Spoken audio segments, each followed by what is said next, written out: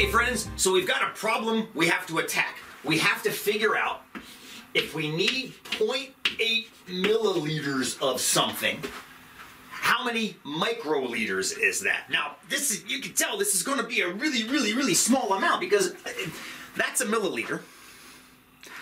That isn't even a whole milliliter. It's only 80% of one. So imagine, you know, imagine a little bit of that taken off. That's a little tiny amount of whatever you're pipetting out. I guess it's liquid.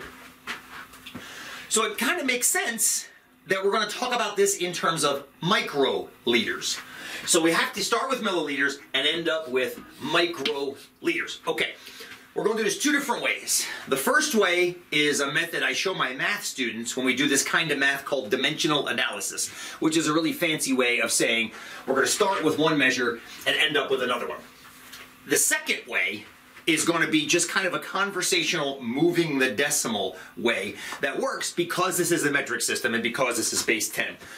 I like both ways because in case you ever have to convert anything not in the metric system, the first way I'm going to show you will work across any uh, systems of measure, not just metric, also English and whatever else. The second way, because it's the metric system, we can actually speed up the process. So let's look at both ways now.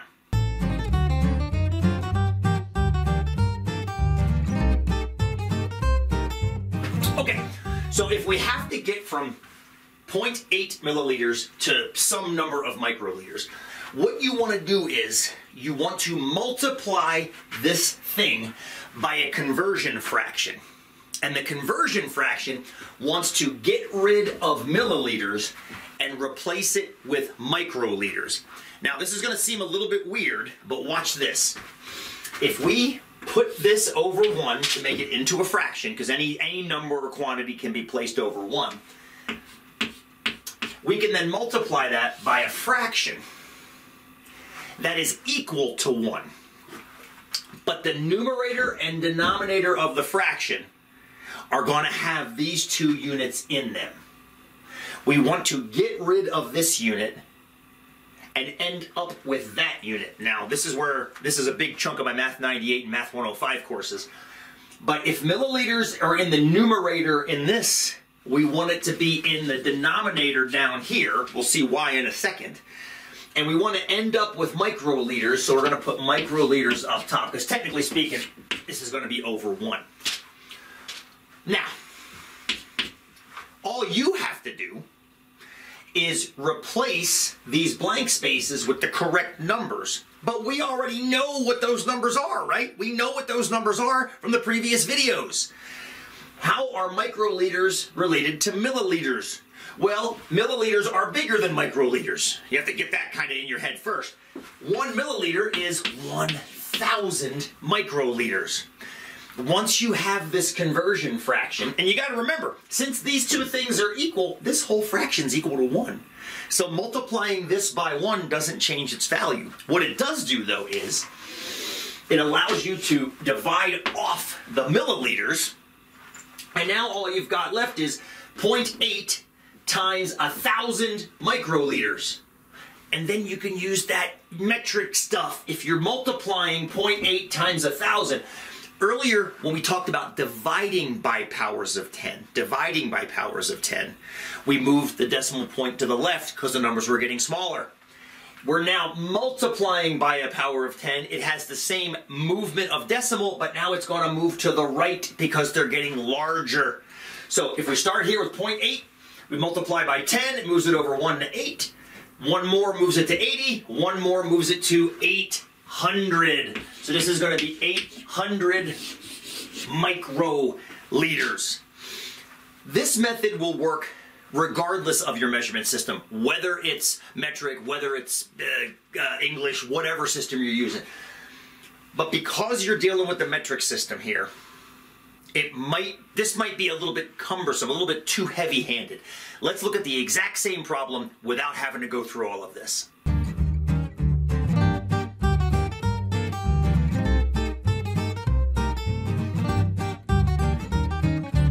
Okay, friends, here's way number two of dealing with the conversion problem. Like, what is 0.8 milliliters in microliters?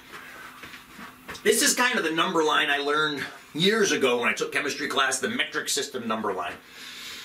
It's not quite like a number line like you're used to in mathematics. Instead, it's kind of an equivalence chart. So if you can put any number somewhere on this line, you can then move to the right or left if necessary, but since this is microbiology, we're going to be moving that way.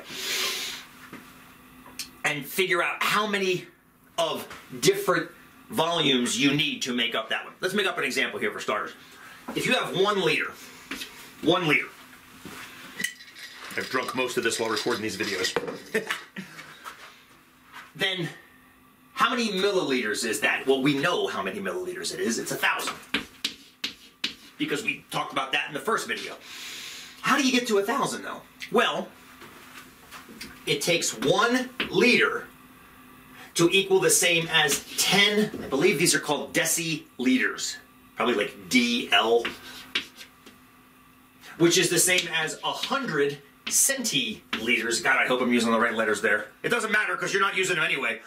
But they are there. There are stops in between one and a thousand. Once you hit milliliter, it's a thousand milliliters. So notice as you move from left to right, you're adding zeros. Each stop adds another zero. You can keep going. I'm not even going to pretend to know what these two are called, but it doesn't matter. If you were to stop at them, you'd add another zero there to get 10,000, and then you'd add another zero here to hit 100,000, and you'd add another zero at microliters to get to a million. So if you're moving from left to right on this number line, you simply keep adding a zero with every move to the right. Why adding a zero? Because you're multiplying by 10 going that way. So the problem we had to do did not start with one liter. As a matter of fact, it started over here at 0.8 milliliters. If we move that way one to whatever this measurement is called, it would be 8 milliliter, excuse me, whatever it's called liters. Then you move another one, it would be 80, whatever those are called, liters. And you move once more, 800 microliters. If you could envision kind of this in your head, this is a much simpler way of doing it than the multiplication of fractions I showed you in the previous one. Although, nonetheless, the multiplication of fractions is always going to work too. So I'm going to let you choose which one you want to use. Let's look at another one.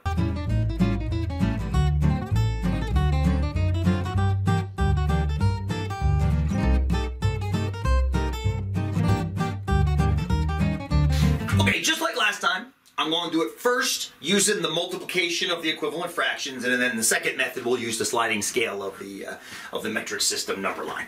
So we're starting this time with microliters. We want to end up with milliliters. Okay. Same process. I'm going to make both of these things into fractions, just because it's going to make life easy to visualize. I now need the conversion fraction. Well, the nice thing about it is the conversion fraction I'm going to use is going to have the same numbers and units as we did before. However, this time I want to get rid of microliters, which means I want microliters down here, and I want to keep milliliters so milliliters goes up top. That way we're going to be able to divide off the microliters this time.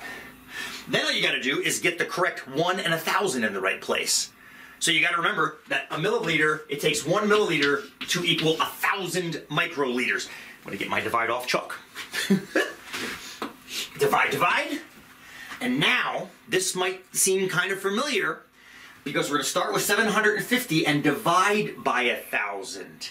So we're going back to that move the decimal to the left idea. 750 divided by a thousand is going to give you 0.75 milliliters. But again, in case this is seeming a little bit heavy-handed, let's take a look once again at using the, uh, the number line of the metric system equivalences. So now we have 750 microliters. That's here.